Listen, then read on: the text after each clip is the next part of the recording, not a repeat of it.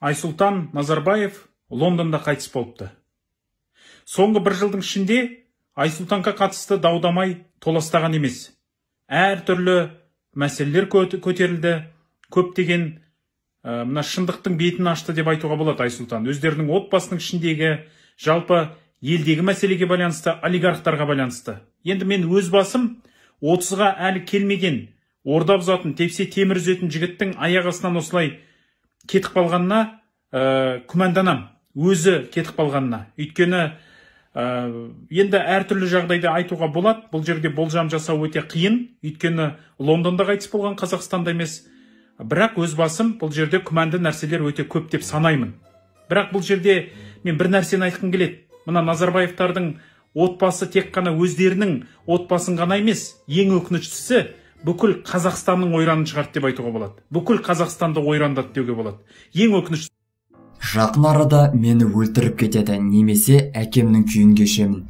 Мені өз-өзіне қол жұмсап асылып қалған жынды деп көрсетіп соны дәлелдеуге тырысады деп жазған еді өзі. Белгілі жас саясаткер қоғам белсендісі жанболат мамай фейсбуктегі парақшасында айсұлтан рахаттың өліміне күмәнмен қарайтынын айтты. Одан бөлек марқұмның өзі де биылғы жылы өміріне қауіп төніп тұрған жеткізген болатын. Соңғы бір жылдың ішінде айсұлтанға қатысты даудамай толастаған емес әртүрлі мәселелер көтерілді. Өзінің отбасының ішіндегі жалпы елдегі мәселелерге олигархтарға байланысты шындықтардың бетін ашты. Жалпы айсұлтан рахаттың өзі де биыл 23-24 қаңтарда фейсбуктегі парақшасында шулы жазбаның бірнешеуін қатар-қатар жариялаған болатын.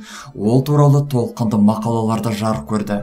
Ал 22 қаңтардағы жазбасында жақын арада мені өлтіріп кетеді немесе әкемнің күйін кешемін мені өз-өзіне қол жұмсап асылып қалған жынды деп көрсетіп соны дәлелдеуге тырысады деп одан кейін мен бір ақ нәрсені қалаймын. Өлерімнің алдында атаммен кездескім келеді деген еді. Алайда оның өліміне нақты ненің себеп болғаны белгісіз. Тек жүрек талмасы ұстағаны ғана хабарланды. Бәлкім дімкәстігі биылғы даулы жазбалармен қатар ұстай қалған жүрегі сол пікірлері жарияланбағанда соғысын тоқтатпас па еді. Енді жақында ғана қайтыс болған марқұмның жерлеу рәсімі бүгін өтті. Бұл туралы кастак агенттігі хабарлады. Ал біріншіден ислам шартында мәйіт адам қайтыс болғаннан үш күннен кейін жерленеді.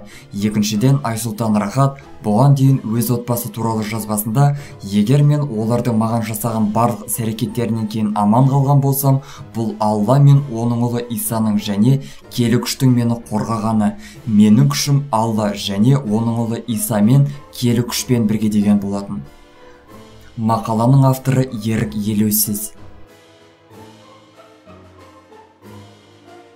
Достар біздің каналға жазылып лайк басуды ұмытпаңыздар. Келесі шығарылымдар тек қана сіздер үшін.